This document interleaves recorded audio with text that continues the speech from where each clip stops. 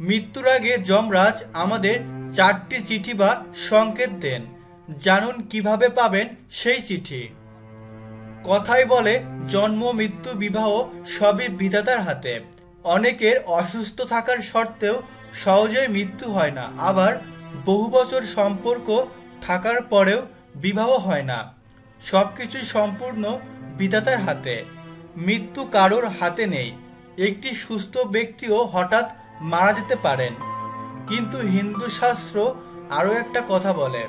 সেখানে বলা হয় যে, মৃত্যুর আগে যমরাজ জানান দেয়, আর তা একবার নয়, চারবার। হিন্দু শাস্ত্রে মৃত্যুর দেবতা হলো যমরাজ। তাকে দক্ষিণ ভারতে লোকপালও বলা হয়। সাধারণত যমরাজ চারবার কোনো মানুষকে মৃত্যুর সংকেত দিয়ে থাকে। পুরাণ মতে যমরাজের প্রথম মৃত্যু হয়। আর তারপর থেকেই মহাদেব তাকে মৃত্যুর দেবতা করে দেয়। শাস্ত্রে বলা হয় যে মৃত্যুর আগে যমদূতেরা পৃথিবীকে বিদায় জানানোর আগে আত্মাকে নিতে দাঁড়িয়ে থাকে। তারপর কর্মফল অনুযায়ী যমরাজ বিচার করে সিদ্ধান্ত নেয় যে সে স্বর্গে যাবে বা নরকে যাবে। যমুনার তীরে বসবাস করতেন অমৃত নামের এক ব্যক্তি।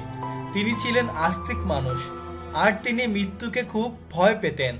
তাই তিনি যাতে অমর থাকতে পারেন, তার জন্য তিনি যমরাজের কঠোর তপস্যা করেন।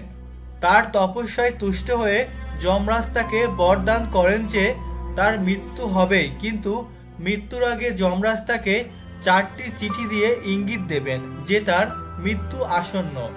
মৃত্যুর পর তিনি যমরাজের উপর ক্ষিপ্ত হয়ে বলেন যে আপনি আমাকে কথা দিয়েছিলেন, মৃত্যুর আগে আমাকে চিঠি পাঠাবেন, কিন্তু তা আপনি করেননি। আপনি নিজের কথা রাখেননি। যমরাজ তার কথা শুনে হেসে বলেন যে, তুমি ধীরে ধীরে বৃদ্ধ হয়ে পড়েছিলে, অকেজ হয়ে পড়েছিলে।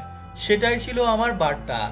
এই বার্তার সাহায্যেই আমি তোমাকে বুঝিয়ে দিয়েছিলাম যে, তোমার মৃত্যু আসন্ন। তুমি মৃত্যুর জন্য প্রস্তুত হও। যমরাজ এই বার্তা সকলকে দেন, কিন্তু কারোর চোখেই পড়ে না। আমাদের উচিত নিজের মৃত্যু সম্পর্কে অবহিত হয়ে পার্থিব সব মায়া ত্যাগ করে মৃত্যুর জন্য প্রস্তুত থাকা।